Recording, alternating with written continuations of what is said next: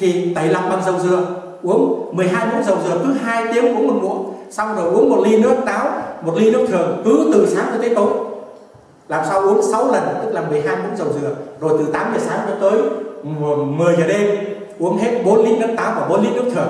Chỉ trong vòng ban sáng là các anh các chị đã xả hết cái bầu tâm sự sạch sẽ tất cả mọi sự, bao nhiêu thuốc độc mình uống từ bao nhiêu chục năm nay, cứ đặt trong đấy là khỏe khoắn thì cái ớt có thể uống lâu được cái gì? Cái ớt nước ớt ớt. có thể uống lâu được không sao hết. Uống hoài uống hoài không sao hết.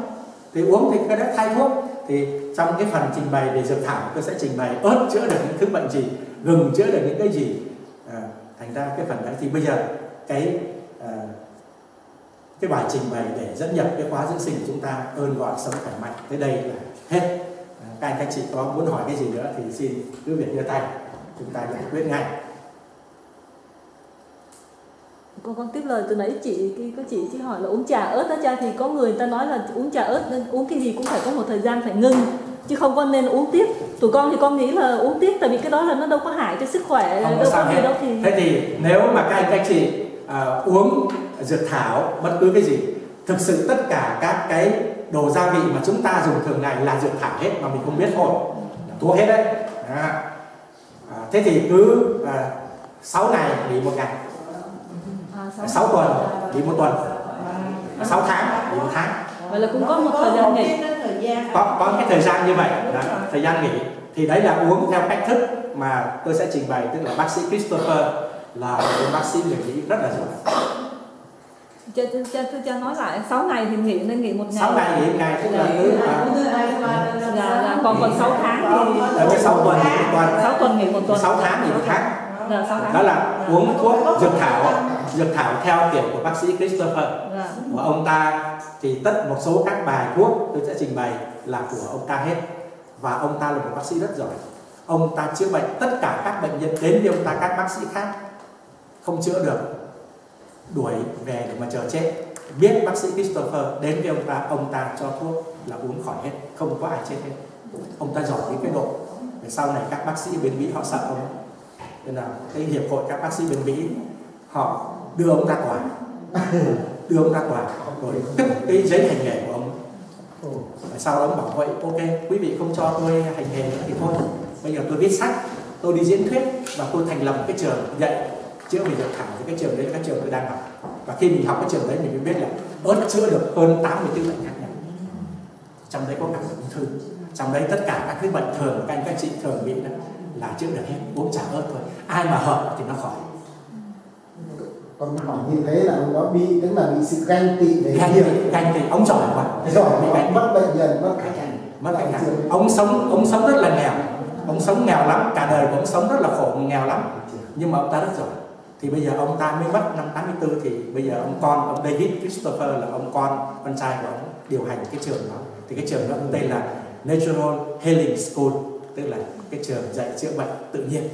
Tức là ông ta chỉ dùng các thứ dược thảo à, có ai muốn hỏi nữa không? Dạ, Dạ, xin chị. cha về ờ, vấn đề mà bên Tây y với cha không cái vấn đề mà bệnh nan giải tất cả đa số những người lớn tuổi mà ở bên Pháp hay bị là về ờ, thấp khớp cái thấp khớp thuốc tây họ chỉ trị bằng cách cho những ông phi ông pharmacoa hoặc cortisone thôi họ chưa tìm cái gì khác ra hết thành ra để mà giảm đau hoặc cái hoặc là sưng khớp này nọ đó như, như phương pháp của cha thì có, có giúp ích? Giúp ích. Dạ. mình bấm huyệt Dạ, mình pha bóp phản xạ học Dạ. và mình tẩy lọc cơ thể À, dạ. Dạ. và nếu cần thì uống thêm một số các dược thảo khác À, dạ. và cái cuối cùng mà tôi mới học cách đây mấy tháng đi Mỹ mua cái máy này xong nó qua học cái khóa đó do chính bác sĩ Jerry Tennant ông hướng dẫn cái khóa này và tôi dùng cái máy này tôi sử dụng từ nãy tôi sử dụng cho anh ấy anh bảo con cảm thấy nó nhẹ hơn Dạ. tức là chỉ trong vòng 10 phút thì đôi khi cái máy này nó giúp chúng ta đạt cái hiệu năng mau hơn là mình dùng hồi trước tôi cũng bấm huyệt cho anh ấy. Dạ. hồi ở bên Thụy ở bên Pháp Rixheim anh chị cũng anh chị Lucy với với anh ấy cũng đến tham dự cái khóa rồi thì tôi chữa cho anh thì anh cảm thấy nhẹ anh về anh bỏ cái anh đi mà dạ. thì mình có thể chữa được hết nhưng mà cái kia nó cần nhiều giờ hơn và Dạ. nếu mình dùng cái máy này thì nó mau hơn à, thì bây giờ trong mấy ngày này tôi sẽ chữa cho anh ấy với lại những người mà đau đầu gối hay là đau cánh tay đau bất cứ đâu. Đó thì nếu mà các anh các chị thấy nó công hiệu thì sau này mình có thể vô website mình mua họ gửi cho mình nó hơi mắc một chút. Nó hơi mắc Chị bằng phương pháp gì? Cái máy cái gì cha? cái máy đó cũng là năng lượng vi ba thôi. À, cũng như năng lượng vi ba. nó là thiên khí năng. Thiên khí năng của chúng ta là năng lượng vi ba. Dạ, nhưng mà mình chỉ sử dụng hai bàn tay của mình thôi. Dạ, còn ông ta thì ông ta chế ra cái máy đó dạ, thì dạ, tức là ông ta cũng truyền cái năng lượng. Dạ, tức là năng lượng dưới cái dạng điện dạ, vào các cái tế bào của mình. Dạ, và ông ta ờ, khi mà ông ta khám phá ra thì ông ta nói là bình thường. Các tế bào lành mạnh của chúng ta là cần uh, minus dạ, 25 millivolt dạ, tức là một volt chia thành một ngàn. Dạ, thì mỗi cái tế bào sống của mình nó chỉ cần 25 millivolt là nó khỏe mạnh rồi. Dạ. còn các tế bào mà từ 20 trở xuống là các tế bào yếu càng yếu bao nhiêu thì nó càng xuống thấp bấy nhiêu. Dạ, thì bây giờ mình dùng đó mình nâng nâng cái điện năng của các tế bào lên thì tự nhiên nó hết đau nhức nó tự tái lập lại được. Rồi mình lên tới 50 thì nó tự tái tạo. À, dạ, bởi chúng ta bình thường thì bây giờ là cái phần 2 các anh các chị mệt chưa? Dạ, chị hãy chưa mệt thì tôi xin nói tiếp. Hay là tới giờ mình có cái chương trình gì khác? Là không 10 giờ rưỡi là mình có cái thai ca cái thai trong này. 10 giờ rưỡi mình nghỉ giải lao ok. Dạ. Bây giờ 10 giờ chưa? Chưa. Ok. Kém 20 đến 10 rưỡi à, thì tiếp đến 10 rưỡi giờ tiếp thì cái phần thứ hai là tôi trình bày đó là cái thân thể của chúng ta. Để chúng ta biết là trên trên đời này không có một cái máy nào được chế tạo hoàn bị như là cơ thể của chúng ta. Cơ thể của chúng ta có khả năng tự tái tạo. Các anh các chị tưởng là da của mình á không có đổi á cứ ba bốn ngày là các tế bào da đổi mới hết. Thành ra mình tắm kỳ ra ghét không có ra ngoài mà tắm kỳ cũng có ra ghét là các tế bào da nó chết đó. Rồi đôi khi người mình tắm sạch sẽ ngủ đêm sáng dậy chị dọn giường. Ra nhất là ra ánh sáng giật như vậy. Bụi bụi đây da của mình nó, nó chết nó ra trong ba phần bấm huyệt à, chúng bây ta giờ- không không cái cái cái, cái, chị vô cái ba. Chúng ta đi đi qua. Thân thể con người thân thể con đi người. qua. Thế giới quá xa hôm bữa đó là cha gửi cho con không có hết? À vậy á? Dạ không có hết. Vậy, vậy anh trương bảo cũng con nhận được hết. Không chúng tôi nhưng mà không có được hết. Ồ vậy dạ có cái nào là thôi không có sao không có sao dạ không có sao. Thì nếu mà có như vậy thì các anh các chị nhìn cho đỡ buồn ngủ mà. Không hay. Không buồn ngủ đâu cha. Nhưng mà sau này sau này đó các anh các chị á các anh các chị mà muốn có cái này á thực sự trên này trên cái tông đồ mù website có 7 chương này. Cái chương trình mà tôi dạy đó. Rồi cái chương trình à, là có 7 chương này hết. Rồi cái này bấm huyệt đó mình không dám đưa lên mà mình mình lấy của ông bác sĩ uh, uh, Katsusuke Serizawa là bác sĩ người Nhật ông viết cái cuốn đó thì các anh các chị mà có người quen có thể ở thụy sĩ có thể tìm thấy cuốn sách đó. À, ở việt nam bán 5 đô la thôi. Nhưng mà tôi thấy là cái cuốn sách của bác sĩ Katsusuke Serisawa bấm huyệt tự chữa bệnh mà bấm huyệt tự, tự, tự bấm huyệt để mà chữa bệnh ấy, tôi thấy hay nhất. Và ông ta trình bày rất là rõ. Chữa mỗi bệnh thì ông ta cho bốn huyệt chính một số các huyệt phụ có hình có đồ hình hết. Cứ theo đó mà bấm thôi. Thì bấm không có cái huyệt nào là huyệt tử hết. Thì bấm không đúng lắm thì không đụng thằng này cũng đụng thằng kia. thế nào đây là một sách à, rồi, rồi nó sẽ ghi cho các anh các chị đó. Nhưng mà để nói như vậy thôi. Thế thì không có cái bộ máy nào mà nó hoàn bị như là cái cơ thể chúng ta. Nó có hệ thống phòng chống. Nó có hệ thống tái tạo. Khi mà bị hư thì nó có thể tái tạo. Thì đấy mình dùng năng lượng vi ba mình dùng dược thảo thế thì chẳng hạn như là cái bệnh đau nhức mà chị hỏi đấy thì rất nhiều khi bị đau nhức như vậy là tất cả các cái chất hóa học tất cả các chất mà chúng ta đưa vào trong cơ thể của mình mà cơ thể không hấp thụ được không thải ra được thì nó đọng lại và nó chọn bình thường là chọn các khớp để mà nó đọng lại đấy. Cho nên là bệnh thấp khớp là do đó mà ra. Rồi à, có cái hiện tượng đó là đóng vôi khớp xương. Cái canxi mà mình cần cho cơ thể của mình nó khác còn cái vôi mà thừa mình không có thải ra được á, thì nó đóng ở các khớp khuỷu tay khuỷu chân nó thử đóng khớp các khớp xương. Thành tự dưng tự lành mình thấy cái tay nó nổ to lên cái cục xương nó mỏng cái đó là đóng vôi khớp xương. Thì mình có thể thoa bóp nó nóng nó tan cái vôi. Thì nó hết bài nhất kêu hút mình cha kêu kêu là hút cái gì? Hút thì là khác nữa lát nữa sẽ có bài chữa mình hút rất là dễ. Rồi à, mình bấm huyệt. Thì đả thông kinh mạch cho khí huyết lưu thông đều các anh, các chị mà hay cảm thấy buổi sáng dậy tay nó nặng nề đó, rồi nó nó nó như là có kiến bò đó. Đó là bởi vì khí huyết lưu thông không có đều tới một cái tuổi nào đấy, ai cũng bị vậy hết. Mình khỏe mạnh thì không sao, nhưng mà tới cái tuổi nào đấy thì dễ bị cái đó là khí huyết lưu thông không đều thế thì chúng ta bấm huyệt để đả thông kinh mạch. Rồi nếu trong trường hợp bị cảm lạnh, thì mình chớ khinh thường ông bà cha mẹ của mình. Các ngài không giải thích thôi. Nhưng mà cái cạo gió, cái đánh cản bằng đồng đồng bạc, trứng gà và đồng bạc. Rồi ở miền trung thì là giác lẻ. Tất cả những cái đó, nó là cái kiểu chữa bệnh chúng ta để đả thông kinh mạch. Bởi vì theo quan điểm của đông y, tất cả những cái gì mà không có di chuyển, không có chạy, bị bế tắc là sinh bệnh hết. Thế rồi, chị tìm thấy chưa? Không chắc chắn là không phải còn không trùng tại không đâu cái đó là cái cuối cùng. Cái đó là cái cuối cùng. Còn mấy cái kia bây giờ chưa chương hai chương ba. Chương ba. Chị mở chương hai. Mở chương hai. À, cái bố việc chương ba. Không không. Như vậy thì không phải. Đâu. đây là sáu chọn còn là một nữa con nhìn được cái đây là hai nữa ba là tỷ lệ sáu năm các con nhìn được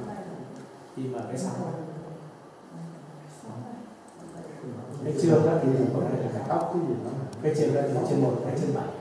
Chương cho nó bằng bằng lo vải thì khoa các người. thì nó cách hít thở. Cái tóc nó chương sáu. Là chương sáu. Cái kia là chương năm. Cái cái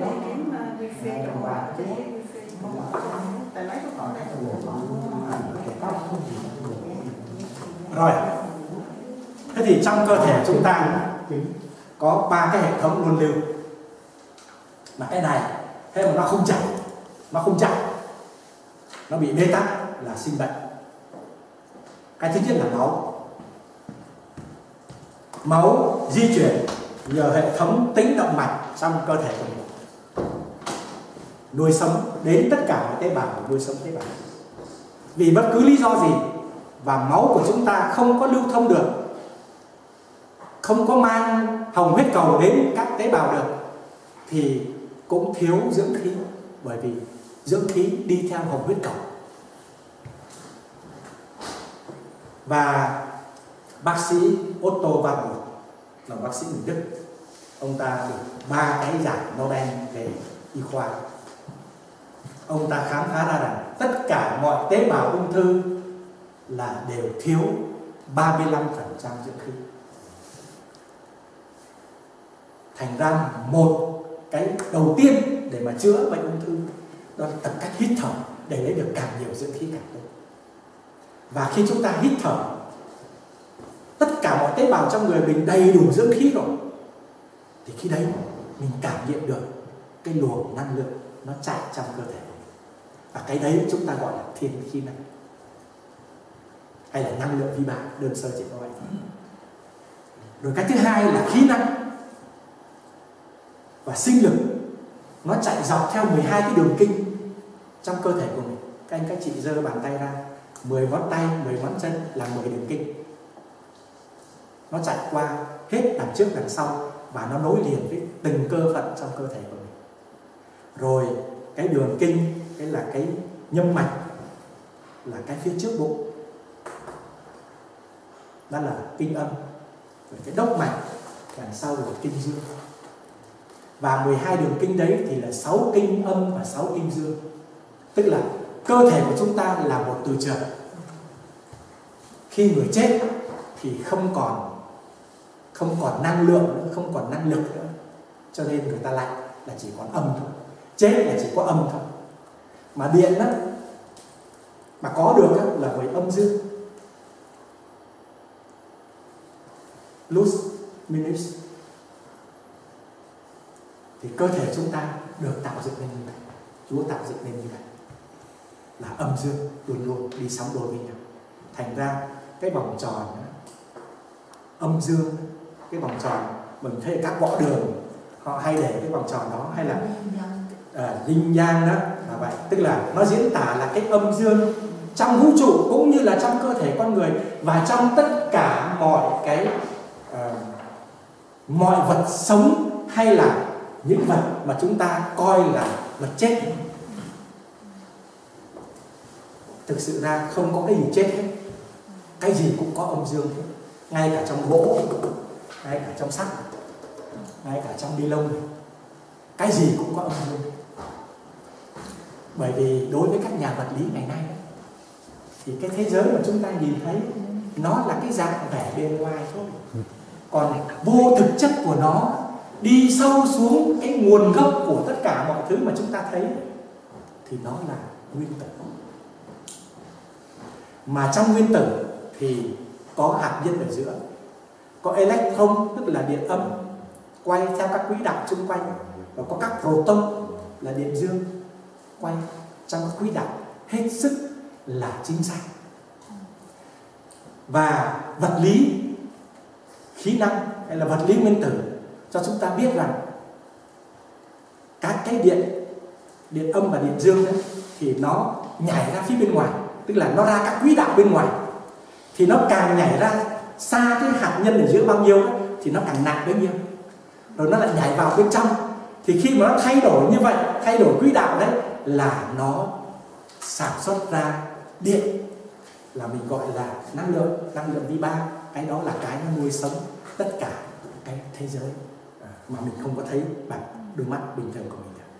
Thành ra đối với các nhà vật lý học ngày nay, đặc biệt là vật lý học nguyên tử, khi mà Albert Einstein đưa ra cái định luật energy là bằng vibration, là vibration. Đối với các nhà vật lý, cái thế giới mà chúng ta thấy nó chỉ là dạng vẻ bề ngoài, còn cái thực chất của nó là vibration, là năng lượng vi ba, tức là cái nhịp rung hay là frequency frequency của radio, mình bắt được đúng đúng cái tần số đó thì mình nghe được cái tiếng nói của tôi là các thanh Vatican hay là các tiếng nói khác. Thế thì, nói tóm lại, cái năng lượng đấy, nó tất cả là năng lượng hết. Toàn cuộc sống của mình, dưới nhiều dạng thức khác nhau, năng lượng hết. Thế thì thân thể của chúng ta được Chúa chế tạo ra như vậy. Tức là gồm 12 đường kinh sáu kinh âm và sáu kinh dương, nó chạy qua các cơ thể của mình. Và các cơ phận trong người của mình cũng gồm các cơ phận âm và cơ phận dương. Thế thì bộ máy hô hấp và tuần hoàn là âm, phổi, tim là âm. Nhưng mà bộ máy tiêu hóa là dương, phải có sức nóng thì mới mới biến đổi thực phẩm thành năng lượng để nuôi sống cơ thể mình. Và bên ngoài là dương, bên trong là âm ở bên trên là dương bên dưới là âm. Thành ra bách hộ tức là cái chakra số 7 ở trên đỉnh đầu của mình nó là dương. Rồi, rồi ở dưới là ở dưới giữa giữa cái hậu môn với cái bộ phận sinh dục của mình là cái điểm đó là điểm âm. Thành ra khi chúng ta để tay truyền năng lượng vi ba để tay trên âm, trên dương là mình truyền cái sức nóng, năng lượng vi ba vào. Và nó tác động thẳng trên các cái hạch nội tiết trong cơ thể của mình. Thì cái đấy nó chữa bệnh cho mình. Thế thì cái thứ ba là hạch dịch. Máu, khí, sinh lực và hạch dịch là các tuyến nội tiết sản xuất và cung cấp các dung dịch giúp điều hòa thân thể và sản xuất các kháng tố chống lại mọi thứ vi trùng nếu có. Còn nếu không có vi trùng thì nó tái tạo các cái uh, sức mạnh các cái năng lượng cho cơ thể của mình. Thế thì trong cơ thể của chúng ta gồm ba cái hệ thống luân lưu đấy. Thì ba cái hệ thống luân lưu đấy khi mà bị bế tắc là sinh ra bệnh. Rồi âm dương trong quan niệm đông y như chúng ta vừa nói cái đồ hình mà vuông tròn mình có võ đường đấy. Rồi nó như cái bánh trăng chia đôi một nửa trắng một nửa đen. Rồi trong cái nửa trắng có một chấm đen và trong cái nửa đen có một chấm trắng. Thì nó diễn tả cái âm dương nó hòa hợp trong cơ thể của mình và nó giao thoa vào nhau, điều hòa đến cái độ nó khiến cho mình khỏe mạnh. Thì khi mà âm dương mất cái thế cân bằng là chúng ta bị bệnh. Và cái này là mình dễ nhận ra nhất khi mình bị cảm lạnh hay là bị cảm nóng. Khi bị cảm lạnh là âm nhiều quá, mà dương thì ít. Khi bị cảm nắng là dương nhiều quá, mà âm thì ít. Rồi cũng có những trường hợp là sốt nóng lạnh đó. Là âm quá thì hóa ra dương và dương quá thì hóa ra âm cái này nó là vật lý không nhé? Đó, tức là bên ngoài bên ngoài thì mình run mình run cầm cập nhưng bên trong thì nóng. Và sốt sốt nóng lạnh. Tức là quá, nó quá mạnh, hai cực nó quá mạnh thì nó phát ra cả hai cái hai cái nó đổi ngược lại với nhau. Đó. Thế thì trong cái đồ hình đấy âm diễn tả bóng tối, mặt trăng, nước sự thụ động đi xuống, nó diễn tả nữ giới. Sự co thắt lạnh phía trước, bên trong thân thể của mình. Rồi dương diễn tả ánh sáng, mặt trời, lửa hoạt động, hướng đi lên. Diễn tả nam giới, sự trải rộng, diễn tả sức nóng, nó diễn tả mùa hạ, nó diễn tỏa cái phần phía bên ngoài và nó nhẹ thì sức khỏe tùy thuộc với cái thế quân bình âm dương trong cơ thể của chúng ta. Hết mà quân bình thì khỏe mạnh. Mất thế quân bình là bắt đầu bị thứ bệnh. Rồi nó sinh ra cái, cái cơ phận nào của mình yếu thì cơ phận đấy bị. Rồi sau đây là năm cái nguyên tắc của âm dương. Ngoại vật đều có khía cạnh âm và khía cạnh dương. Rồi mỗi khía cạnh âm dương đều có thể chia thành một cặp âm dương khác tức là cứ thế chia ra nó tới vô tận. Rồi âm dương tùy thuộc nhau và không có ý nghĩa nếu không có nhau. Cuộc sống của mình hết kết thúc khi chúng ta chết là chỉ còn âm thôi mà hết dương. Khi huyết không lưu thông, không còn sức nóng, không còn khí lực. Âm dương kiểm soát lẫn nhau, âm yếu thì dương mạnh và ngược lại. Quá nhiều âm hay quá nhiều dương sẽ gây ra vấn đề mất thế quân bằng rồi dưới một vài trạng thái âm có thể biến thành dương và ngược lại, sốt nóng lạnh là trong trường hợp đấy. Rồi 10 đường kinh chạy dọc trong cơ thể của mình, thì 10 đường kinh đó, đầu ngón tay và đầu ngón chân, rồi hai đường kinh một kinh trước một kinh sau nữa chạy dọc trong cơ thể của chúng ta. Và đi qua tất cả mọi tế bào trong cơ thể của mình. Cho nên tại sao khi chúng ta bấm huyệt là chúng ta đả thông kinh mạch? Khi mà kinh mạch bị bế tắc là có vấn đề chúng ta đau nhất. Thì cái đơn sơ nhất là đau đâu bấm đấy. Và cái kiểu chữa bệnh bằng năng lượng vi ba của chúng ta cũng thế. Tức là đau đâu đặt tay ở đấy. Và khi mình truyền cái năng lượng vi ba như vậy là mình tái lập cái, mình tái lập cái thế quân mình trong tất cả các tế bào của mình. Vì thế là hết đau nhất. Mà trên lý thuyết thì không cần uống thuốc. Rồi 10 đường kinh chạy dọc theo 10 đầu ngón tay 10 đầu ngón chân và các cơ phận gồm năm kinh năm kinh âm là thận, can, tỳ, phế, tâm. Năm kinh dương là bàng quang, đờm kinh, đại tràng, tiểu tràng. Cộng thêm nhâm mạch ở phía trước và ờ, đốc mạch ở phía sau lưng, từ đỉnh đầu cho tới hậu môn. Thì ngoài ra thì còn có tâm bảo lạc là chung quanh tim của mình. Rồi tam tiêu dương. Rồi các cơ phận âm dương thì đi từng cặp sóng đôi với nhau, chúng ta nên biết những cái này bởi vì khi mà mình bị bệnh đó, thì mình biết phổ tả âm dương như thế nào. Các cơ phận âm dương thì từng cặp như là thân bọng đái, gan, mật, tức là thận gan, lá lách, phổi, tim là âm. Còn bọng đái, mật dạ dày, ruột già, ruột non là dương. Tức là nói chung, hô hấp và tuần hoàn là âm, tiêu hóa là dương rồi cũng dựa trên đó người ta chia ra 10 cái vùng năng lượng khác nhau trong cơ thể của mình. Thì cái ông đầu tiên mà ông khám phá cái này, thực sự ra thì bên tàu có rồi. Bên tàu đó là bấm huyệt cái tài kia qua bóc bạc dọc là châm cứu, thì họ có từ lâu rồi. Nhưng mà ờ, về phương diện về tây y đó, thì năm 1913 bác sĩ William Fitzgerald, ông ta phát động và phổ biến liệu pháp chữa trị vùng năng lượng theo cơ thể của mình. Thì ông ta thấy rằng là khi mình bấm trong một cái số vùng nào đấy thì tự nhiên hết đau nhức rồi sau đấy thì ông ta phổ biến cái kiểu chữa bệnh của ông ta. Rồi có một cái bà bác sĩ là năm 1930 đó thì là bà bác sĩ à, à, Eunice Ingram là chuyên viên vật lý trị liệu của nhà thương San Petersburg ở Tampa, bang Florida cái ông này ông chia sẻ cho bà cái đó bà bỏ hết bỏ hết là bỏ hết chức nghiệp của bà ấy để bà ấy đi học cái này xong rồi bà ra bà ấy mở cái trường để bà viết sách. Thì hai cái cuốn sách mà bà ta viết với con gái của bà ta đó mà bán tức là bán uh, chạy bestseller trên thế giới ờ, tức là à, phản xạ học thân mình chữa lành với các ngón tay của bạn. Hãy tự chữa cho bạn với phản xạ học chân. Có thêm cuốn nữa là ba cuốn phản xạ học tay trừ khóa cho sức khỏe hoàn hảo. Thế thì ba cuốn đấy là ba cái cuốn mà các các chị có thể uh, nếu mà có gì mua thì có thể đọc. Nó rất là hay và cho họ dạy. Tức là mình có thể tác động trên các cái phần trong cơ thể của chúng ta làm sao để mà chữa bệnh. Rồi bây giờ, cái mà hay nhất, tức là hai cái tai của mình, nó giống như cái hai cái bào thai chụp đầu xuống đất. Và trên cái hai tay của chúng ta là có tất cả các tận thần kinh nối liền với mọi cơ phận trong người của mình. Cho nên họ nhí chân, họ châm cứu trên hai tay rồi trên mặt của mình trên cái sống mũi của mình trên mặt của mình cũng thế. Có tất cả các tận thần kinh liên quan tới cái cơ phận trong đời của mình.